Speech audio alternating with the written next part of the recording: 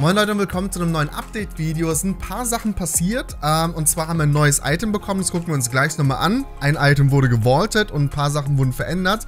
Als allererstes hier vorne bezüglich Item Shop, denn jetzt können wir Skins wieder zurückgeben. Also ich beschreibe euch mal das Ganze, wie das funktioniert. Und zwar, wenn ihr jetzt im Item Shop seid und den Creator Code Oleg eingetragen habt, dann äh, könnt ihr hier irgendetwas erwerben. Also ich kaufe jetzt einfach mal diese Pose hier vorne. Ich sage jetzt zum Beispiel einfach mal erwerben. So, dann müsste ich jetzt die Möglichkeit haben, diesen Skin wieder zurückzugeben. Hier steht rückgängig. Die Sache ist nur die, ich kann nur so lange auf rückgängig drücken, solange ich den Item Shop nicht verlasse. Ja, das heißt, wenn ich jetzt zum Beispiel zurückgehen würde, ich glaube, hier müsste es noch funktionieren. Wir probieren das Ganze mal aus, einfach nur für euch, damit ihr es Bescheid wisst. Ich gehe mal hier zurück, ich bleibe mal hier in diesem Bereich kurz drin im Item Shop. Ich gehe nochmal auf die Kaktuspose. Okay, ich kann sie dann nicht mehr zurückgeben, die Kaktuspose, ja? Also, ihr habt es eben gerade gesehen, man muss quasi in diesem Kaufbereich von dem entsprechenden Item sein, um es wieder zurückgeben zu können. So direkt, also sobald ihr das, dieses Menü verlassen habt, könnt ihr es nicht mehr rückgängig machen, ja.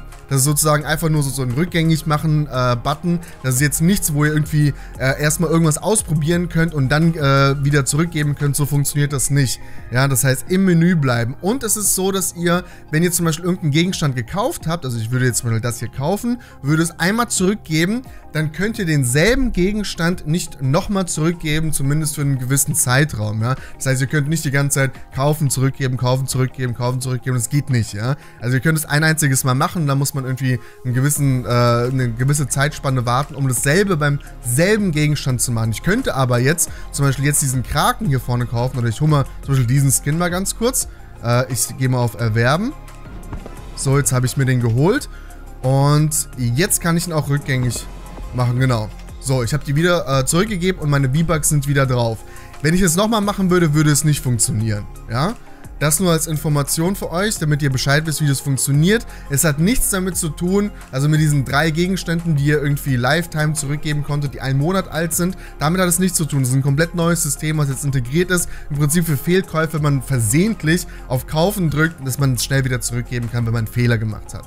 So, jetzt kommen wir zu den neuen Items, beziehungsweise zu Items, die entfernt wurden. Und entfernt wurde die Hunting Rifle. Die ist nicht mehr im Spiel, die wurde entfernt. Epic Games hat letzte Woche bereits gesagt, dass sie der Meinung sind, dass es zu viele Sniper im Spiel gibt.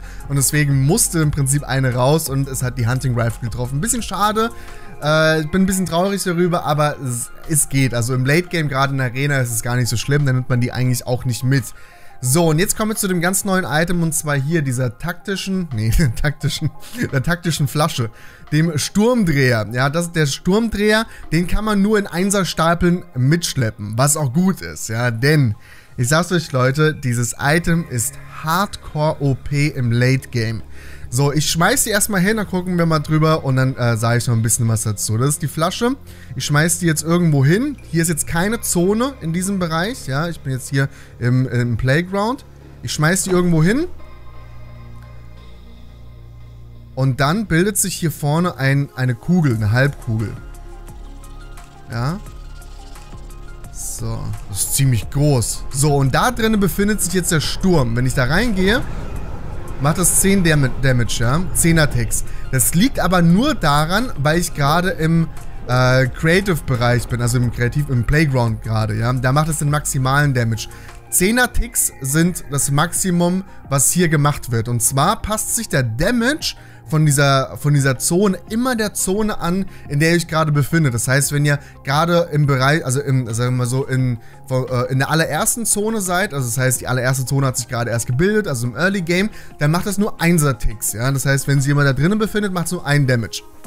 Dann geht es weiter hoch auf 2 und im Late Game sind es eben 10 Damage, ja. Und ihr habt ja gesehen, wie groß dieser Bereich ist. Dieses Ding ja, das ist ja halt riesengroß. Und wenn ich mir vorstellt, dass ihr im Late Game seid, also das heißt, wenn der Kreis nur, äh, der Kreis nur ganz klein ist und keine Ahnung, sich vielleicht 20 Spieler dort befinden und ihr diese Flasche irgendwo, diese Flasche irgendwo hinwerft, dann könnt ihr eigentlich die ganze Lobby, ja wirklich die ganze Lobby ausschalten. Und das ist halt so hart, weil wohin sollen die Gegner denn gehen? Also wohin soll man denn flüchten, außer man schafft es aus, aus dieser Zone nach oben, ja, oder wenn ihr die Flasche irgendwo oben platziert, dass die Leute nach unten gehen.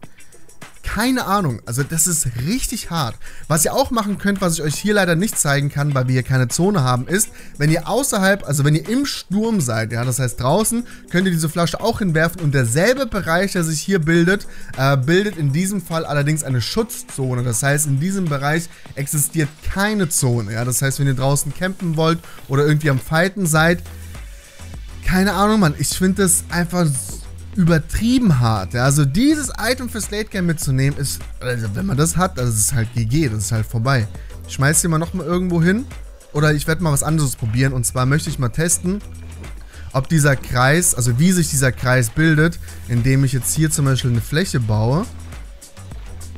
Ich baue hier mal eine Fläche. Und dann versuche ich hier mal rauszuflüchten. Beziehungsweise ich benutze einfach meinen Rift. So, ich schmeiß die mal hier hin und dann rifte ich. Will mir das mal angucken. Ja, es ist halt eine, kompletter, eine komplette Kugel. Ja, und die ist halt schon riesengroß, muss man sagen. Wie gesagt, wenn man sowas irgendwo hinwirft, dann ist die einzige Chance zu flüchten in einem kleinen Kreis nach unten oder nach oben. Weil wenn der gesamte Kreis halt wirklich nur so groß ist wie diese Kugel, und das ist ein ziemlich großer Bereich, dann ist es vorbei. Das sind 20 Sekunden, äh, die aktiv sind. Also 20 Sekunden lang existiert diese Zone und im Late Game macht sie 10 Damage pro Tick. Ich muss mir das mal angucken, Mann. Also heute Abend ist zum Beispiel, also ihr könnt gerne bei mir heute Abend im Stream mal einschalten. Da ist ein Turnier, bei dem ich mitspiele. Da spielen zum Beispiel auch Benji, Mongral und so weiter mit. Also es ist ein 10.000 Euro Turnier. Ich werde höchstwahrscheinlich gar nichts gewinnen, aber ich werde trotzdem mitspielen. Und ich bin mal gespannt, äh, wie sich dieses Item im Late Game spielen lässt. Wenn ich ins Late Game komme, ich versuche mal da ein bisschen zu performen. Also wie gesagt, äh, könnt ihr heute Abend gerne bei mir bei Twitch vorbeischauen. 18 Uhr. 18 Uhr geht das Ganze los und da wird um 10.000 Euro gespielt. Und wenn ich dieses Item habe, vielleicht hole ich dann einen Win, Leute. Ansonsten kommen wir mal zum Thema Polar Peak, denn hier hat sich etwas getan. Ich bin mal jetzt hier äh, im Flugmodus drin. Wie ihr sehen könnt, ist dieser Berg jetzt auseinandergebrochen und Polar Peak ist eigentlich weg. Ja? Also diese ja, diese, diese Burg hier vorne ist halt komplett verschwunden, ist eingekracht. Hier unten sehen wir noch so ein paar Bruchstücke davon. Und das Auge ist auch weg, ja. Also dieser ganze Bereich ist komplett hier auseinandergebrochen. Ein bisschen schade, dass wir das nicht sehen konnten und dass die das nicht zumindest in irgendwie einem Video gezeigt haben oder so. Aber man muss sich jetzt das Ganze vorstellen, wie das passiert ist. So, pff, alles runtergekracht, ne? Ihr könnt es euch vorstellen. So, das ist jetzt alles kaputt. Das Auge ist weg. Aber, ja, wir können ein bisschen verfolgen, wo sich das Auge hin bewegt hat. Denn, wenn wir hier runter gucken, sehen wir unten hier alles bröckelt. Äh, und weiter in diese Richtung. Dann sehen wir diese fetten Fußspuren. Ja, und ich weiß noch ganz genau, als ich im ersten Video, als ich über das Auge gesprochen habe, gesagt habe, ey, dieses Monster ist bestimmt so groß bis nach da, von der Größe her, so von dieser Größe, ja. Weil wenn das Auge schon so riesig war, haben wir gesagt, ey, es kann doch gar nicht sein, dass es so riesig ist. Leute, guckt euch mal diesen Fuß an, ja. Dieser riesige Fuß. Oh mein Gott, Mann. Ey, das Monster ist auf jeden Fall, wenn so groß. Oder das Monster hat einfach nur ein riesiges Auge und einen riesigen Fuß. Ja, aber ist in Wirklichkeit eigentlich so ganz klein, ne? Könnte natürlich auch sein. Äh, das Komische dabei ist aber auch, dass es nur ein Fuß ist. Also, wenn wir uns mal die, diese Fußspuren angucken, dann müssten wir ja normalerweise immer so zwei Fußabdrücke sehen, aber das sieht aus, als wäre das irgendwie entlang gehoppelt. Ja, das heißt, wir haben hier den ersten Abdruck, da den zweiten. Also die sind nicht nebeneinander, oder? Was meint ihr? Weil das sieht eher aus, als würde er so bouncen. Das springt er von aus so bounce und dann springt er hier hin, dann springt er nochmal dahin. Ihr guckt euch mal diesen Vergleich an von diesem Fuß und diesem Fuß. Das ist ja richtig lächerlich. Das ist ein richtiger Fußabdruck. Und dann springt er weiter nach da und dann springt er weiter nach da und dann springt er ins Wasser. Oder? Ja, also ich sehe hier sonst keinen Fußabdruck mehr. Die sieht man übrigens auch auf der Karte. Also wenn ihr die Map aufmacht, dann müsst ihr diese Fußabdrücke auch sehen. Aber ansonsten sehen wir nichts mehr. Das heißt, dass er wahrscheinlich von hier aus ins Wasser gesprungen ist. Ist irgendjemand im Wasser?